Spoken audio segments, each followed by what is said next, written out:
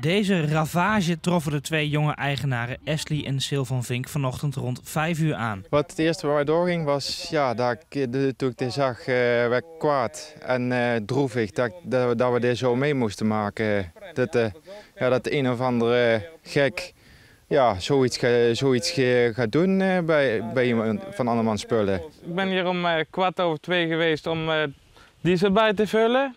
En dan dachten we laten hem nog draaien tot uh, dat we weer om vijf uur bij konden vullen. En toen kwam mijn moeder en mijn broer samen en toen zag ons mam uh, niet meer dat hij er stond. Dus ze dachten dat hij gestolen was. Dat bleek niet het geval, want de tractor richtte de schade aan in de boomgaard en ging daarna verder.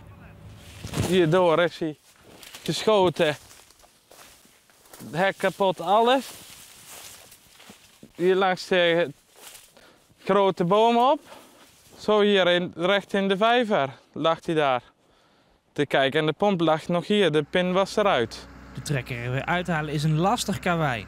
De eerste keer breekt de ketting, maar de tweede keer lukt het wel en wordt langzaam duidelijk hoe groot de totale schade is. Met de tractor en zo erbij, dan denk ik wel rond... Uh, en de jaren erbij die waren met productie, dan zit het denk ik wel uh, rond de 20.000, 30.000 euro. Uh, we, hopen dat we, we hopen dat we de dader te vinden krijgen en dat hij toch ja, dat hij de kosten allemaal gaat opdragen. Want uh, dit, dit, dit, kan, dit kan echt niet.